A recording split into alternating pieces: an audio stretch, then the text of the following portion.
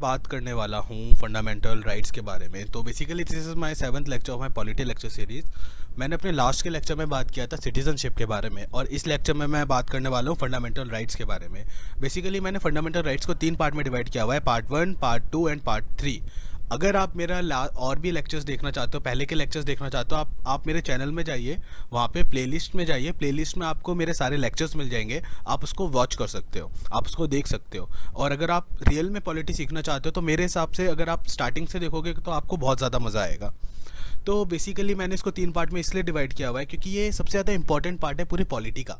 Maxim चाहे वो exam point of view हो, चाहे वो एज अ सिटीज़न हो, ठीक है?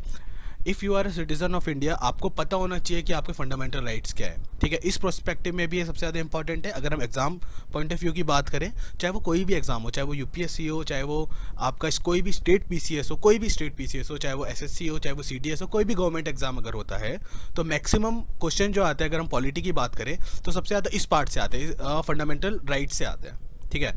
तो ये मेरा फ़र्स्ट पार्ट है। तो टाइम ना वेस्ट करते हुए हम इसको आगे करते हैं। तो बेसिकली मैं सबसे पहले आपको बेसिक्स बताऊँगा इसके बारे में। तो जो फंडामेंटल राइट्स है, वो किस पार्ट के अंदर आता है? ये पार्ट थर्ड के अंदर आता है और कौन कौन से आर्टिकल डील करते हैं इसमें?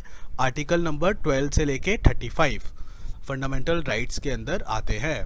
ठीक है आर्टिकल ट्वेल्व से लेकर थर्टी फाइव डील करते हैं किसको? फंडामेंटल राइट्स को। तो basically it has a largely been incorporated from a bills of rights of USA constitution which were written way back to twenty five year ago ठीक है? It is also called a Magna Carta of Indian constitution अब इसको हम Magna Carta of Indian constitution क्यों बोलते हैं? Because it is judiciable justiciable and enforceable in a court of law क्यों? क्योंकि भाई ये जुडिशेबल भी है जस्टिकेबल भी है और एनफोर्सेबल भी है। कहाँ पे? कोर्ट ऑफ़ लॉ में। ठीक है? It is the most elaborated fundamental rights in the world ठीक है? सबसे ज़्यादा सबसे ज़्यादा बड़ा बोल सकते हैं या फिर सबसे ज़्यादा जो डिस्क्राइब किया हुआ है तो फंडामेंटल राइट्स है ना सबसे ज़्यादा बड़ा है ये हमारा फंडामेंटल राइट्स पूरे वर्ल्ड से। अगर हम पूरे वर्ल्ड के हम बात करें तो मोस्ट एलेबोरेटेड फंडामेंटल राइट्स है हमारा आ, हमारे इंडिया का। ठीक है? It no discrimination among citizens of India ठीक है? अब जो हमारे फंडामेंटल राइट्स है ना वो कोई डिस्क्रिमिनेशन नहीं रखता सिटीजन्स ऑफ़ इंडिया के बीच में। मतलब अगर हम बात बोले कि uh, कुछ एलाइड क्लासेस हैं और कुछ लो क्लास फैमिलीज़ हैं ठीक है? तो अगर हम बोले कि भाई जो एलाइड फैमिलीज़ हैं उनके लिए अलग फंडामेंटल राइट्स होगा और जो लो क्लास फैमिली है मिडिल क्लास फैमिली है उनके लिए अलग फंडामेंटल राइट्स होगा ऐसा नहीं है। हमारा कॉन्स्टिट्यूशन कोई डिस्क्रिमिनेशन नहीं रखता। ठीक है, हमारा फंडामेंटल राइट्स है वो कोई डिस्क्रिमिनेशन नहीं रखता। चाहे वो अपर क्लास फैमिली हो, चाहे वो लोअर क्लास फैमिली हो, चाहे वो लाइट क्लास हो, चाहे वो मिडिल क्लास फैमिली हो, कोई भी हो, हर एक के लिए अगर वो सिटीज़न ऑफ़ इंडिया है, ठीक है, अगर वो सिटीज़न है हमारे इंडिया का तो उसके लिए जो फंडामेंटल राइट्स है, हर एक के लिए सेम होगा। हर एक के लिए जो गरीब आदमी के लिए, वही अमीर आदमी के लिए भी होगा, ठीक है। इट अपहोल्ड और prevent the equality of the individual the dignity of the individual the large public interest and the unity of the nation ठीक है। चलिए अब हम बात करते हैं why fundamental rights are fundamental भाई फंडामेंटल राइट्स जो है हम उनको फंडामेंटल क्यों बोलते हैं? बिकॉज़ दे कवर बेसिक और fundamental needs of a citizen वो क्या करते हैं? बेसिक और फंडामेंटल नीड्स को कवर करता है। वो उसको कवर करता है uh, किसी भी सिटीजन के बेसिक और फंडामेंटल नीड्स को। ठीक है? They are guaranteed and protected by the constitution which are fundamental law of the land ठीक है? और a country they form the backbone core and a soul of constitution along with DPSP ये एक तरीके से हमारे कॉन्स्टिट्यूशन का backbone है, एक कोर है, ठीक है? और we can say soul of the constitution ठीक है? और इसमें हमने डीपीएसपी की भी बात की है, ठीक है? They are the most essential for the all round development of the individual ठीक है? अब कौन कौन सा डेवलपमेंट है? चाहे वो मटेरियल हो, चाहे वो इंटेलेक्चुअल हो, चाहे वो मॉरल हो, चाहे वो स्पिरिचुअल हो, हर एक डेवलपमेंट के बारे में इन्होंने बात की है। ठीक है? तो all round development of the individual हर एक इंडिविजुअल के डेवलपमेंट के बारे में हम लोगों ने इसमें, इस फंडामेंटल राइट्स में बात किया है। ठीक है? तो इसीलिए ये फंडामेंटल है। दीज आर द रीजन्स कि हम फंडामेंटल राइट्स को फंडामेंटल क्यों बोलते हैं? ठीक है? चलिए, अब मैं बात करता हूँ राइट्स के बारे में कि राइट का वैसे बेसिकली कॉन्सेप्ट क्या है? राइट क्या है? ठीक है? तो rights are the claim of an individual on an authority right क्या है? वो क्लेम है किसका? इंडिविजुअल का, किस पर? किसी भी अथॉरिटी पर ठीक है? Rights are the those condition of social life without which no individual can be at his or her best self मतलब क्या है इसका? कि राइट्स वो कंडीशंस है या वो चीज़ है, ठीक है, कि हर एक इंडिविजुअल को ज़रूरत है। अगर वो चीज़ नहीं मिलेगी तो वो अपना बेस्ट नहीं दे पाएगा, ठीक है? तो बेसिकली क्या है? Without which no individual can be his or her best self ठीक है? तो ये राइट का कॉन्सेप्ट समझ में आया? हम बात करते हैं ह्यूमन राइट्स के बारे में, कि बेसिकली ह्यूमन राइट का कॉन्सेप्ट क्या है? देखिए, अगर हम डिफाइन करते हैं मैन को तो हम क्या बोलते हैं? Man is a biological animal ठीक है? अगर हम बात करते हैं ह्यूमन की तो हम ह्यूमन को क्या, कैसे डिस्क्राइब करते हैं? कि human is a sociological entity ठीक है? तो बेसिकली जो ह्यूमन राइट है, वो क्या है? Human rights are those rights which are considered essential for a dignified human existence जो कि बहुत ज़्यादा ज़रूरत है। किसके लिए? डिग्निफाइड ह्यूमन एग्जिस्टेंस के लिए ठीक है? ह्यूमन की एग्जिस्टेंस के लिए ह्यूमन uh, राइट्स बहुत ज़्यादा ज़रूरत है ठीक है? एसेंशियल है ठीक है? अब इसके लिए क्या आता है? इसके लिए U N D H R आता है। अब ये U N D H R क्या है? Universal declaration of human rights ठीक है? ये इसका फुल फॉर्म है। अब बेसिकली ये है क्या? What is U N D H R U N D H R का अगर फुल फॉर्म की हम बात करें तो उसको बोलते हैं universal declaration of human rights ठीक है? तो it is a declaration adopted by United Nation General Assembly on ten December 1948 ये डेट आपको बहुत ज़रूरत है 10 दिसंबर 1948 याद रखने की। और ये कहाँ पे हुआ था? पेरिस में हुआ था। भाई 10 दिसंबर uh, 1948 में uh, ये डिक्लेरेशन अडॉप्ट किया गया था यूएन ने यूएन जनरल असेंबली ने यूनाइटेड नेशन जनरल असेंबली ने यूएन डीएचआर जिसको हम बोलते हैं universal declaration of human rights ठीक है? तो बेसिकली ये है क्या? ये है source of human rights it is a source of human rights इसके अंदर क्या है कि जितने भी ह्यूमन के जो राइट्स हैं ना, वो सब लिखे गए हैं. ठीक है? तो बेसिकली इसके अंदर ये किस किस मतलब ये जो डॉक्यूमेंट है, इसके अंदर डॉक्यूमेंट में क्या है? इट कंजिस्ट ऑफ़ प्रियम्बल इसके अंदर प्रियम्बल है और तीस आर्टिकल है थर्टी आर्टिकल्स है.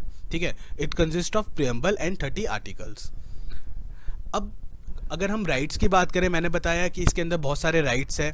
ठीक है?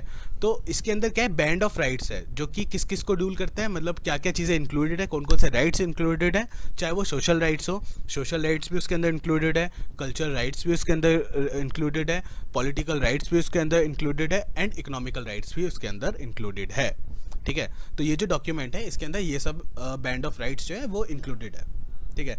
अब 10 दिसंबर को ही हम लोग ह्यूमन राइट डे बनाया जाता है। और ये हमने जो 10 दिसंबर लिया है, वो हमने यहाँ ही से लिया है। क्यों? क्योंकि हमने U N D H R को अडॉप्ट किया गया था। हमने क्या मतलब यूनाइटेड नेशन जनरल असेंबली ने universal declaration of human rights को अडॉप्ट किया था। कब? 10 दिसंबर 1948 इसलिए 10 दिसंबर बहुत ज़्यादा इंपॉर्टेंट डेट है। और 10 दिसंबर को ही हम ह्यूमन राइट डे बनाए, मनाते हैं।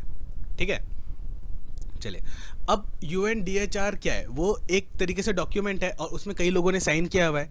ठीक है? तो U N D H R क्या करता है?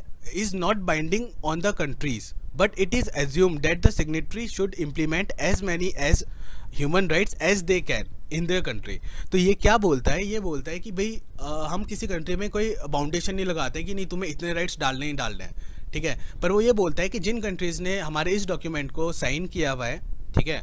इस डिक्लेरेशन को साइन किया हुआ है तो वो उनसे उम्मीदें रखती है, वो ऐसा सोचती हैं, वो उम्मीदें रखती है कि वो जितने ज़्यादा ह्यूमन राइट्स है ना as many as human rights वो अपने कॉन्स्टिट्यूशन में डाले, अपनी कंट्री के लिए, ठीक है? तो वो ये बात बोलती है, ठीक है?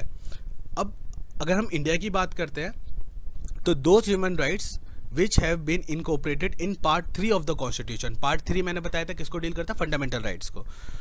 वो ह्यूमन राइट्स जो हमने पार्ट थ्री में डाले हैं यहाँ से उठा के U N D H R के डॉक्यूमेंट से उठा के और जो कि इंजॉय करते हैं and which enjoys special sanction of law ठीक है? उनको हम बोलते हैं फंडामेंटल राइट्स ठीक है? तो इससे एक बात समझ में आती है कि जो सारे के सारे ह्यूमन राइट्स जो है, वो फंडामेंटल राइट्स नहीं है but all fundamental rights are human rights ठीक है? तो जो राइट्स जो ह्यूमन राइट्स हमने U N D H R के डॉक्यूमेंट से निकाल के अपने कॉन्स्टिट्यूशन में डाला है पार्ट थ्री पार्ट थ्री में डाला है कॉन्स्टिट्यूशन के। ठीक है? उनको हम क्या बोलते हैं? उनको फंडामेंटल राइट्स बोलते हैं। अब आपको समझ में आ गया ह्यूमन राइट्स और फंडामेंटल राइट्स के बीच में डिफरेंस क्या है? Fundamental rights basically are subset of human rights वो एक छोटा पार्ट है ह्यूमन राइट्स का। ठीक है? बट लेकिन हर एक ह्यूमन राइट फंडामेंटल राइट नहीं है बट हर एक फंडामेंटल राइट ह्यूमन राइट्स है। ठीक है? ये बात समझ में आई? ठीक है। अब हम बात करते हैं नेचर ऑफ़ फंडामेंटल राइट्स की। बेसिकली नेचर क्या है हमारे फंडामेंटल राइट्स का? देखो सबसे पहला जो नेचर है वो क्या है? ये एनफोर्सेबल है जस्टिसेबल है एंड और जुडिशियबल है। ठीक है? ठीक है? ये हम कोर्ट में अगर कोई हम हमारा हमारे राइट्स को आ, हम कोई भी उल्लंघन करता है या हमारे राइट्स को हम लोग इन्जॉय नहीं कर पाते तो हम लोग कोर्ट में जा सकते हैं। बेसिकली ये मतलब है इसका। ठीक है? सेकंड क्या है? Negative obligation on a part of state as most of them are negative worded negatively worded मतलब क्या अगर हम स्टेट की बात करें तो मैक्सिमम जो आर्टिकल है मैक्सिमम जो राइट्स है, वो नेगेटिव वर्डेड है। ठीक है? और जो थर्ड फीचर है थर्ड नेचर है इसका, वो क्या है कि जो हमारे फंडामेंटल राइट्स है ना, वो एब्सोल्यूट नहीं है। Not absolute but restricted rights ठीक है? एब्सोल्यूट नहीं है बट लेकिन रिस्ट्रिक्टेड है। ठीक है? अब, ये जो रिस्ट्रिक्शन है, हम लोग क्यों लगाते हैं? ठीक है? मतलब ये जो हम लोग रीजनेबल रिस्ट्रिक्शन है, वो हम लोग क्यों लगाते हैं? तो basically what are the reasons behind this restriction सबसे पहला रीजन है वो क्या है? To protect and maintain the sovereignty of the country that is in the interest of security of the country basically क्या है? अपनी कंट्री की सोवरेनिटी के लिए, उसको प्रोटेक्ट करने के लिए, उसको मेंटेन करने के लिए और सिक्योरिटी पर्पज़ के लिए, हम लोग ये कुछ रिस्ट्रिक्शंस लगाते हैं फंडामेंटल राइट्स में। ठीक है? To promote and project protect the interest of to promote and protect the interest of women children and the social and economical backward classes ठीक है? अब जो इकोनॉमिकल बैकवर्ड क्लासेस है ठीक है? इकोनॉमिकली वो गरीब हैं चिल्ड्रंस के लिए और हमारी वुमेंस के लिए, ठीक है? उनको प्रमोट करने के लिए, उनके इंटरेस्ट को प्रोटेक्ट करने के लिए हम लोग कुछ रिस्ट्रिक्शंस लगाते हैं। जैसे अगर मैं एग्जांपल लेता हूँ रिजर्वेशन का तो वो जो हमारे बैकवर्ड क्लासेस हैं, जो हमारी बैकवर्ड लोग हैं, उनको उनके इंटरेस्ट को प्रोटेक्ट करने के लिए ये चीज़ लगाए, ये चीज़ रिजर्वेशन ये जो लेके आए थे उस टाइम वो इसलिए लेके आए थे, ठीक है? तो एक जस्ट एक एग्ज़ाम्पल है। To maintain the public order decency and morality भाई पब्लिक ऑर्डर को मेंटेन करने के लिए डिसेंसी लाने के लिए और मोरालिटी के लिए हम लोग रिस्ट्रिक्शंस uh, कुछ लगाते हैं। और एंड जो फोर्थ रीज़न है वो क्या है? कंटेनमेंट ऑफ़ कोर्ट मतलब कोई कोर्ट का कंटेम्प्ट ना करे। क्यों? क्योंकि भाई अब कोर्ट क्या है? वो एकदम हायर अथॉरिटी है जुडिशरी हमारा क्या है, वो हायर अथॉरिटी है। अगर कोई सब, अगर कोई उसी का ही कंटेम्प्ट करेगा, उसी कोई अगर वो फॉलो नहीं करेगा तो उल्लंघन करेगा उसका, उसके लॉस का उल्लंघन करेगा, ठीक है? तो दिस इज़ रॉन्ग तो उस चीज़ को बचाने के लिए वो लोग रिस्ट्रिक्शन लगाते हैं, ठीक है? अब कुछ राइट्स ऐसे भी हैं जो कि एब्सोल्यूट राइट्स है, ठीक है? जिसके अंदर कोई रिस्ट्रिक्शन कोई लगा ही नहीं सकता, ठीक है? सबसे पहला है आर्टिकल नंबर सेवन जो कि डील करता है किसको? राइट अगेंस्ट अनटचेबिलिटी ये हमारा एक एब्सोल्यूट राइट है। ठीक है? फिर है आर्टिकल 24 जो कि डील करता है not to employed children below 14 year of age मतलब 14 साल के नीचे वाले बच्चों को आप एम्प्लॉयमेंट मतलब उनको कोई रोज़गार नहीं दे सकते हो। ठीक है? उनको नौकरी में नहीं रख सकते हो। ठीक है? तो ये एक एब्सोल्यूट राइट है। इसमें कोई भी रिस्ट्रिक्शन नहीं लग सकता। Article 25 part one right to freedom of conscience ठीक है? ये भी एब्सोल्यूट राइट है। And fourth one is right to education हर एक का राइट एजुकेशन इससे इसमें कोई रिस्ट्रिक्शन नहीं कोई इससे कोई छीन नहीं सकता रिस्ट्रिक्शन नहीं आ, लगा सकते हम इस पर तो ये चार राइट्स ऐसे हैं जिसमें हम रिस्ट्रिक्शन नहीं लगा सकते जो कि एब्सोल्यूट राइट्स हैं। ठीक है?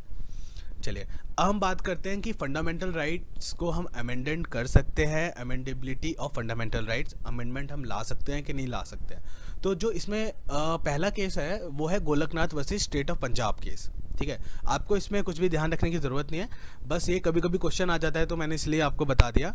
जो पहला केस है गोलकनाथ वर्ष इससे पहले और भी केस थे, ये इसमें मेनली इसी दो केस से क्वेश्चन आता है। ठीक है? तो इससे पहले केस में भी सुप्रीम कोर्ट ने यही बात बोली थी, ठीक है? तो इसलिए मैंने वो केस आपको बताया नहीं है, उसका कोई, उसका इतना कुछ फ़ायदा नहीं है, नहीं, इतना एग्ज़ाम में आता है, इतना आपको डीप में घुसने की ज़रूरत है नहीं है। तो जितना बता रहा हूँ, उतना मोर देन इनफ है। तो जो पहला केस है, वो Golaknath versus state of Punjab case है, जिसमें सुप्रीम कोर्ट ने बोला था कि भाई parliament have no power to amend the fundamental rights as it violate the article thirteen one ठीक है? तो सुप्रीम कोर्ट ने ये बोला था कि भाई पार्लियामेंट के पास पावर नहीं कि वो फंडामेंटल राइट्स को अमेंड कर सके। उसको, उसके अंदर कोई सुधराव ला सके चेंज कर सके या अमेंडमेंट ला सके। ठीक है? पार्लियामेंट के पास कोई वो नहीं है। ये 1967 की बात है। फिर 1973 में क्या हुआ? केशव नंद भारती केस हुआ किसके? Versus state of Kerala case भाई इसमें सुप्रीम कोर्ट ने क्या बोला? सुप्रीम कोर्ट ने बोला, भाई parliament has the power to amend any provision of the constitution including part three but the basic structure of the constitution has not to be disturb ठीक है? जब ये केस आया, इसमें सुप्रीम कोर्ट ने अपने ये वर्ड्स दिए कि भाई पार्लियामेंट के पास पावर है, वो कर सकता है अमेंडमेंट ठीक है? बट लेकिन उसने एक कॉन्सेप्ट लेके आया डॉक्ट्रिन ऑफ़ बेसिक स्ट्रक्चर उसमें उसने ये बोला कि भाई basic structure of the constitution है ना, जो भी कॉन्स्टिट्यूशन का बेसिक स्ट्रक्चर है, वो डिस्टर्ब नहीं होना चाहिए। बाकी तुम्हें जो करना है करो, ठीक है? बट लेकिन जो बेसिक स्ट्रक्चर ऑफ़ कॉन्स्टिट्यूशन है ना, वो डिस्टर्ब नहीं होना चाहिए बेसिकली ठीक है? आपको अमेंडमेंट लाना है पार्ट थ्री में, लेके आओ। बट लेकिन बेसिक स्ट्रक्चर डिस्टर्ब नहीं होना चाहिए। तो इन्होंने ये बात बोली। तो अभी जो है राइट नाउ क्या है कि पार्लियामेंट है, वो चेंज कर सकता है, वो अमेंड कर सकता है अमेंडमेंट ला सकता है पार्ट थ्री में। बट लेकिन बेसिक स्ट्रक्चर जो है कॉन्स्टिट्यूशन का, वो चेंज नहीं होना चाहिए, वो डिस्टर्ब नहीं होना चाहिए। ठीक है? अब अगर मैं बात करता हूँ बेसिक स्ट्रक्चर की भाई बेसिक स्ट्रक्चर में क्या क्या आता है तो उस टाइम तो बताया नहीं था बट लेकिन जैसे जैसे डिसीज़न आते रहे सुप्रीम कोर्ट के आ, क्योंकि कोई भी केस होता है ना और कोई भी डिसीज़न होता है वो रिटर्न डाउन होता है ठीक है? तो जैसे जैसे डिसीज़न आते रहे वैसे वैसे बेसिक स्ट्रक्चर के बारे में लोगों को मतलब सबको पता चलने लगा ठीक है? उसी तरीके से बेसिक स्ट्रक्चर के बारे में पता चलने लगा ठीक है? तो आपको बस अमेंडेबिलिटी ऑफ़ फंडामेंटल राइट्स में आपको बस इतनी बातें ध्यान रखनी है। ठीक है? हम बात करते हैं सस्पेंशन ऑफ़ फंडामेंटल राइट्स अब बेसिकली फंडामेंटल राइट्स अभी हमने बात किया कि वो uh, हमारा फंडामेंटल राइट्स अमेंडमेंट हो सकता है भाई हाँ हो सकता है कौन कर सकता है? पार्लियामेंट कर सकता है। ठीक है? ये हमें कब पता चला? केशव भारती केस के बाद हमें ये चीज़ हमें पता चला। ठीक है?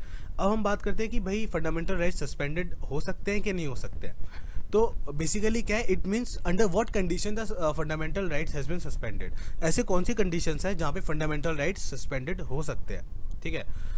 भाई, दो कंडीशन है, दो कंडीशन है जहाँ पे फंडामेंटल राइट्स जो है हमारे सस्पेंडेड हो सकते हैं। पहला है, पहला दे रखा है आर्टिकल 358 में और सेकंड दे रखा है आर्टिकल 359 में। भाई आर्टिकल 358 क्या बोलता है? The fundamental rights under article 19 are automatically suspended if the if the national emergency is proclaimed on the ground of war and external aggression. On the ground of war and external aggression. ठीक है? इसका मतलब क्या है?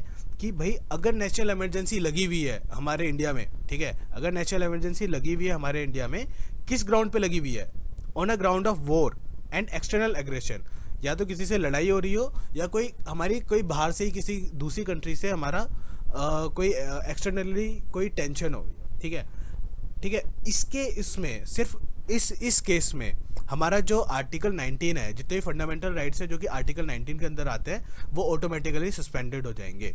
ठीक है? तो ये बहुत ज़्यादा इंपॉर्टेंट है, बहुत सारा क्वेश्चन में आया ये कि किस ग्राउंड में? वॉर में और एक्सटर्नल एग्रेशन में। अगर वो बोला इंटरनल एग्रेशन तो भाई इंटरनल एग्रेशन में अगर नेशनल इमरजेंसी लगी हुई है, तब आर्टिकल 19 ऑटोमेटिकली सस्पेंडेड नहीं होगा। बट लेकिन अगर वो वॉर में वॉर के टाइम पे या फिर एक्सटर्नल एग्रेशन के टाइम पे नेशनल इमरजेंसी लगी हुई है, तब आर्टिकल 19 जो है ऑटोमेटिकली सस्पेंडेड हो जाएगा। ये आर्टिकल 358 बताता है हमें, हमारा कॉन्स्टिट्यूशन का, ठीक है? और जो सेकंड कंडीशन है, वो क्या है? आर्टिकल 359 बताता है, ठीक है? 359 आर्टिकल ये बोलता है the president may be may by a separate proclamation can suspended all other fundamental rights except except those under article 20 and article 21 ठीक है? तो ये क्या बोलता है हमारा आर्टिकल 359 क्या बोलता है कि जो हमारे प्रेसिडेंट है, वो वो अपने सेपरेट प्रोक्लेमेशन के थ्रू ठीक है? अपने प्रोक्लेमेशन के थ्रू वो सारे के सारे फंडामेंटल राइट्स को सस्पेंड कर सकता है, ठीक है? सिर्फ़ दो राइट दो आर्टिकल ऐसे हैं, वो दो फंडामेंटल राइट्स ऐसे हैं जो कि आर्टिकल 20 और 21 में आते हैं, ठीक है? आर्टिकल 20 एंड 21 में आता है, इसको कोई सस्पेंडेड नहीं कर सकता। तो ये बहुत इंपॉर्टेंट हो जाता है कि ये बहुत बार क्वेश्चन में आता है कि ऐसे कौन से आर्टिकल है जो कभी सस्पेंडेड नहीं हो सकते, या सस्पेंड कोई नहीं कर सकता। वो है article twenty and twenty one बाकी सारे आर्टिकल जो है वो सस्पेंडेड हो सकते हैं किसके प्रोक्लेमेशन पे? प्रेसिडेंट के प्रोक्लेमेशन पे। तो ये कौन बताता है? आर्टिकल 359 बताता है। सो so गाइस मैं यहाँ पे वाइंड अप करता हूँ अपना सेशन और मैं अपने नेक्स्ट लेक्चर में मैं पूरे फंडामेंटल राइट्स के बारे में मैं आपको बताऊँगा। और नेक्स्ट लेक्चर बहुत ज़्यादा इंपॉर्टेंट होने वाला है तो मैं आपसे रिक्वेस्ट करूँगा, आप प्लीज़ वो भी देखिएगा और वो लेक्चर मैं बहुत जल्दी देने वाला हूँ। सो गाइज़ थैंक यू अगर आपको मेरा वीडियो अच्छा लगता है तो प्लीज़ यार हिट करो लाइक बटन पर ठीक है? और सब्सक्राइब करा।